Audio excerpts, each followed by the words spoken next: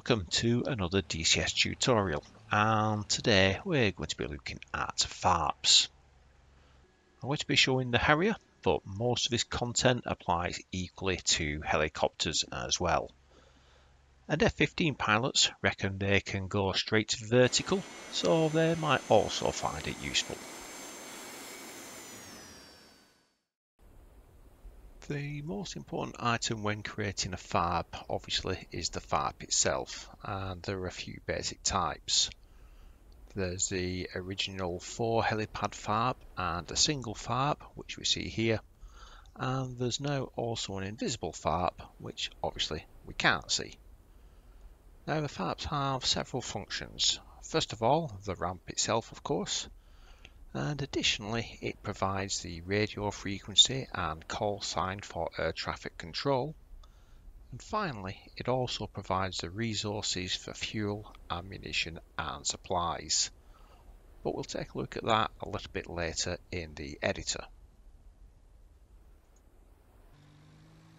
In addition to the FARP itself, there are a few additional units needed to make it fully functioning. Now all of the following units provide the ability to rearm and repair aircraft as a minimum, but some have additional functions. For comms to function, you need either the command post or one of these comms vehicles. For ground power, there is no fixed structure available. You have to have one of these vehicles available.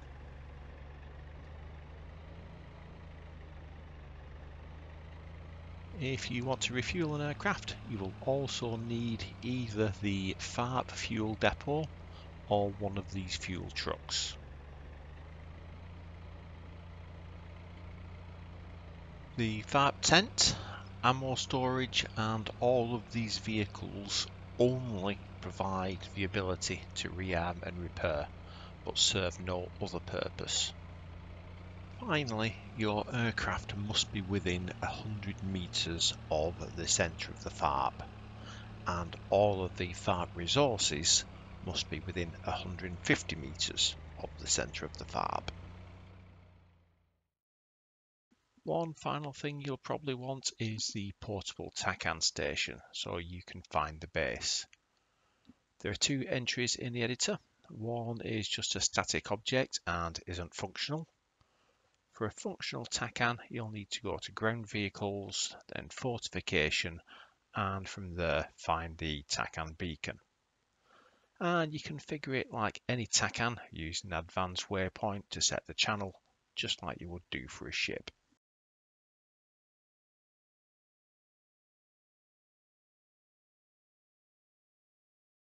Location is obviously an important consideration as well. For helicopters, any area of fairly even land is suitable.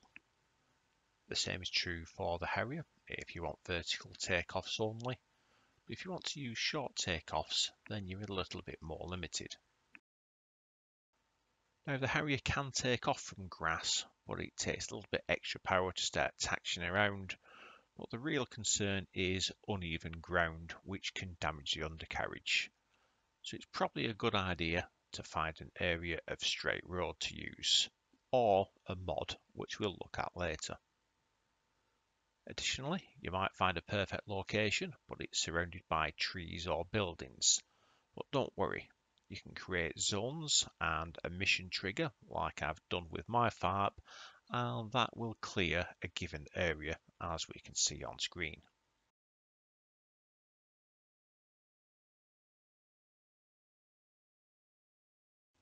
Once you understand the basics, you can then tailor a FARP to your mission requirements. We'll look at radio comms first, as that's pretty straightforward. Normally, when you contact ATC, you get a list of air bases and ships nearby, and we have the same capability with a FARP. Now, there are just two settings. The first is the call sign, and the second is the frequency. All you really need to be careful of is to not to duplicate a pre-existing frequency and if you happen to have more than one FARP not to duplicate the call sign. So here we have London and the frequency is 127.5 megahertz.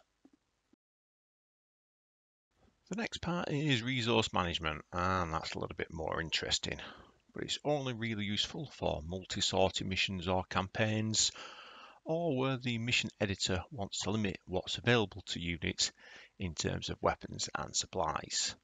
And it can also be used to make facilities a target which might impact the flow of a campaign. If you click on the full info, you can see what resources are available at this location. By default, the FARP will have infinite fuel, equipment and replacement aircraft. However, here you can see on the aircraft tab that I've removed the default and set it so there are only two Harriers and two Apaches available as replacements. The liquids tab is showing that we just have 20 tons of jet fuel here. And finally, the equipment tab has all the weapons available for the Harrier and I've allowed plenty of dumb bombs but I've limited the amount of smart weapons so they need to be used sparingly. The copy function lets you copy what's here to any other airbase on the map, so you don't need to fill this info for every single airfield, which would take hours otherwise. The minimum stock is the amount of stock before a resupply is requested and up at the top these controls define how frequently supplies will arrive at this base.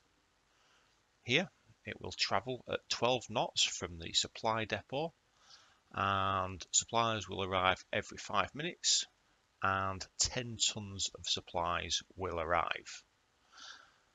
And these will arrive from one of these five suppliers which I've set up over here.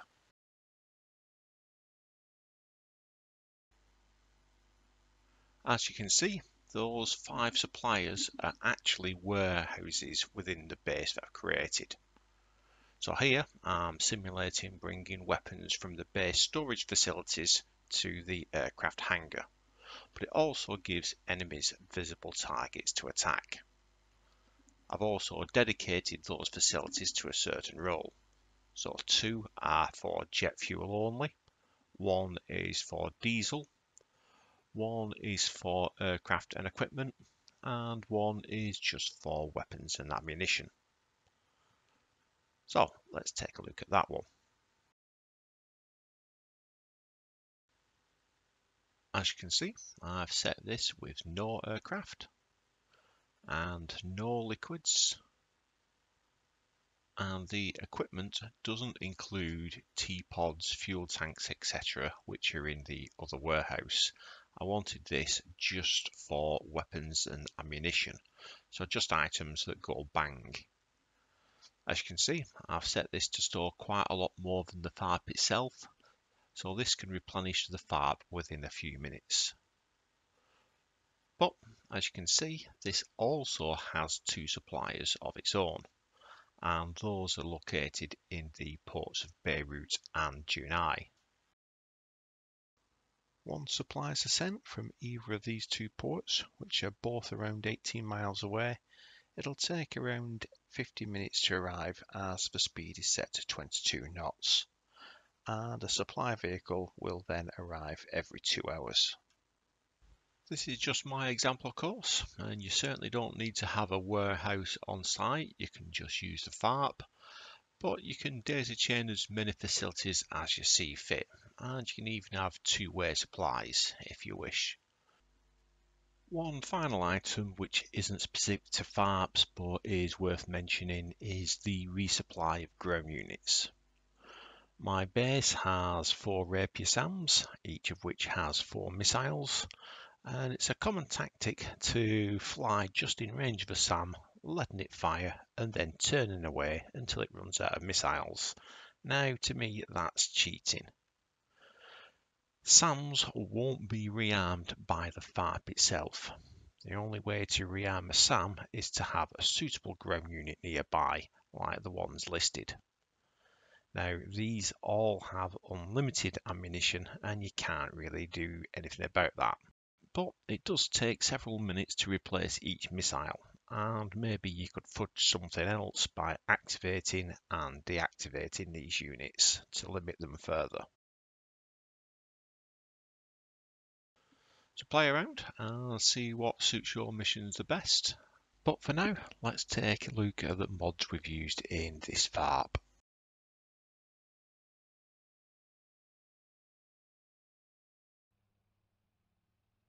The most obvious mod I'm using is Ground Ramp, and that's all that's in it.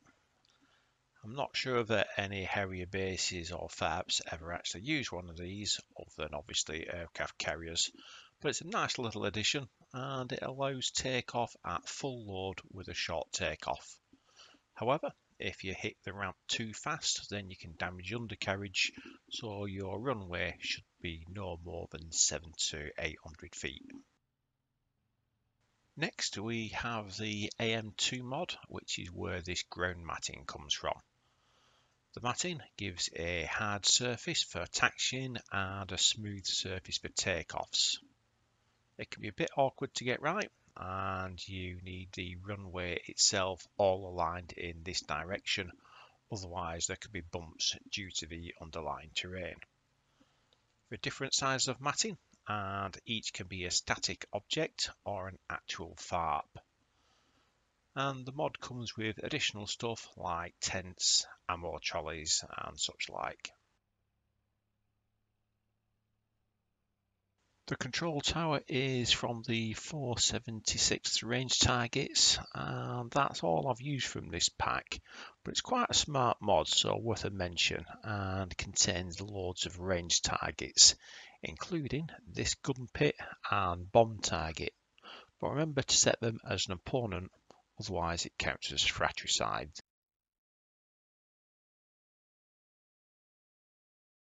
Then we have the SAM Assets Pack, and this gives us all sorts of ground units ideal for making bases. There's barriers, bunkers, all of the fencing around the FARP, and various revetments, including this one, which I have perched and early warning radar on, giving it an unobstructed view. Finally, we have the Massun 92 Asset Pack.